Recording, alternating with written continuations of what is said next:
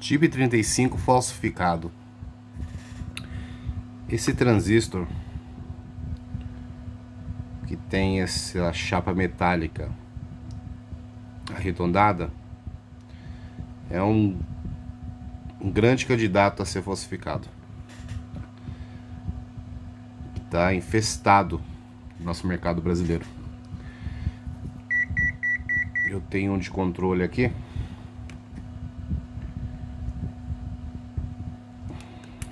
Notem a diferença do invólucro dele. Totalmente diferente. A qualidade desse transistor em relação a esse da esquerda é totalmente diferente. Muito superior à qualidade. E uma prática que é comum fazer para verificar se é falsificado ou não é utilizar o capacímetro para a gente tentar identificar o tamanho da pastilha de silício que tem dentro do transistor. Quanto maior a capacitância, maior a pastilha. A gente vai colocar aqui um multímetro na escala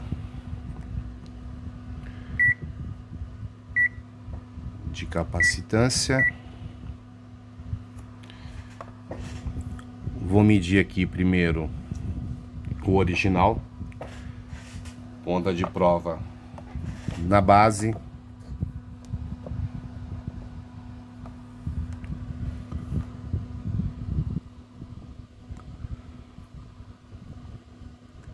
Vermelha na base, coletor preta, 830 nano. Então, valores próximos a 1 nano a 1,5 nano, base e coletor, indica que é um transistor bom. E de base a emissor sempre dá um valor bem alto. Lá 4,3 nano. Então esse tipo 35 aqui ele é original. Então eu consegui 830 nano entre base e coletor e 4,3 nano entre base e emissor. Agora a gente vai medir os falsificados.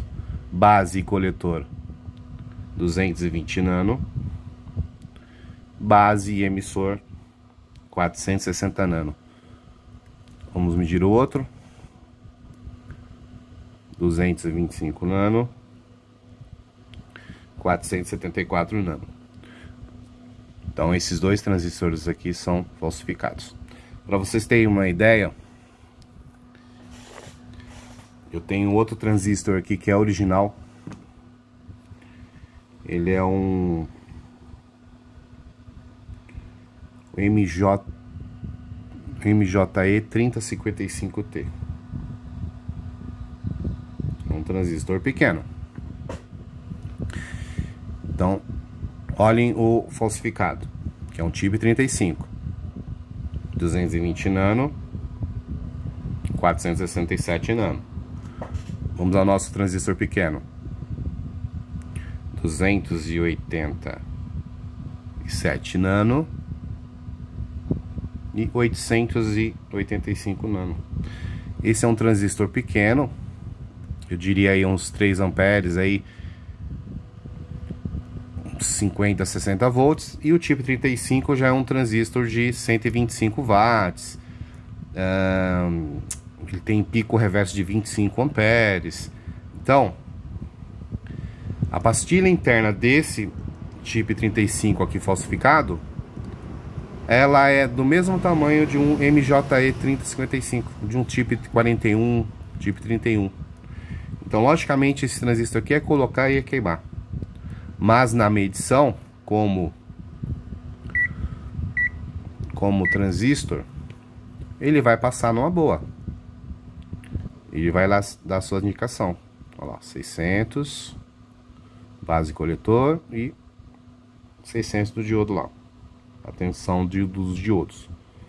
Então ele passa como transistor convencional. Porém, medindo a capacitância, ele já indica que pela baixa capacitância apresentada, significa que a pastilha, é, a pastilha de silício interna dele é bem pequenininha. Provavelmente do tamanho de um, um, tipo, um tipo 41, tipo 31. É, feita essa medição elétrica, você não precisa soldar o transistor, fez, constatou que deu diferença. Nessas medições, é devolver o lote para onde comprou no lojista. Por isso que é bom sempre guardar um transistor de confiança, de qualidade, para você fazer sempre a comparação do lote. E mesmo uh, olhando o lote de fabricação e a parte de trás do transistor, pode ser que você consiga um transistor de ótima fabricação, de, de qualidade de, do invólucro, porém falsificado, tá? Então, a serigrafia, a caixa do transistor não, não vai dizer nada, tá? Você vai ter que fazer essa medição elétrica para poder verificar se o transistor é bom ou não, tá? É isso aí, pessoal.